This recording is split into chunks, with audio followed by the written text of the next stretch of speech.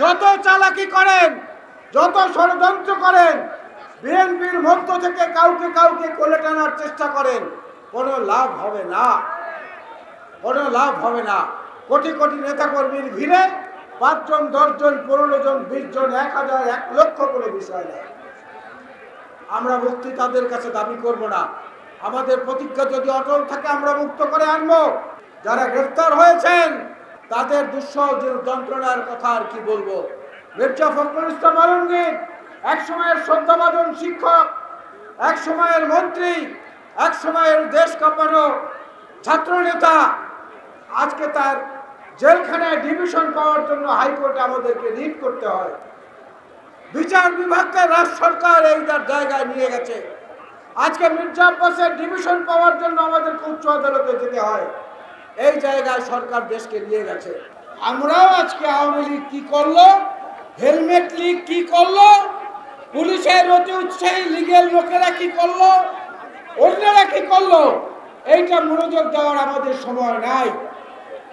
আমরা জনগণের প্রতিনিধি হিসাবে কাজ করছি। পুলিশি আক্রমণ হয়েছিল। এই আক্রমণ দেখে আমার মনে হয়েছে এই ডিসেম্বর মাস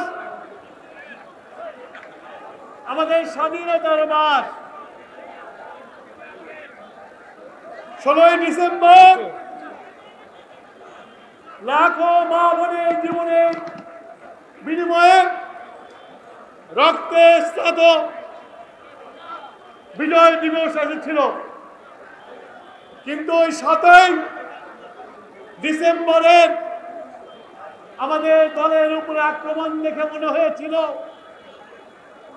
পঁচিশে মার্চ রাতে পাকিস্তানের হায়নারা যেভাবে গুলি চালিয়েছিল, তেমনি আমার দলের নেতাদের উপরে গুলি চালিয়েছে এবং আমাদের অফিস লুট করে নিয়ে গেছে। আমার সেই পঁচিশের রাতে এই বাংলাদেশের পুলিশ রাজারবাগের পুলিশ পাকিস্তানের সেনাবাহিনীকে প্রতিহত করার জন্য জীবন দিয়েছিল।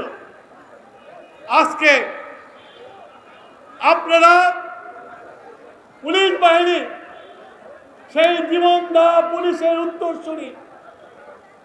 কিন্তু আমার অবাক লাগে আপনাদের পূর্বসূরীরা জনগণের অধিকারের জন্য জনগণের গণতান্ত্রিক অধিকারের জন্য, লুটপাট, ঠেকানোর জন্য জীবন দিয়েছিল।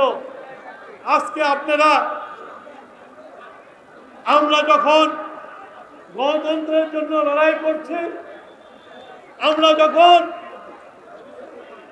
মানুষের পেটের অধিকারের জন্য লড়াই করছি, সেই মুহূর্তে আমাদের গলা বন্ধ করে দেওয়ার জন্য আপনারা আমাদের উপরে গুলি চালাচ্ছেন। আপনারা আমাদের নেতাদের নিয়ে বন্দি করছেন।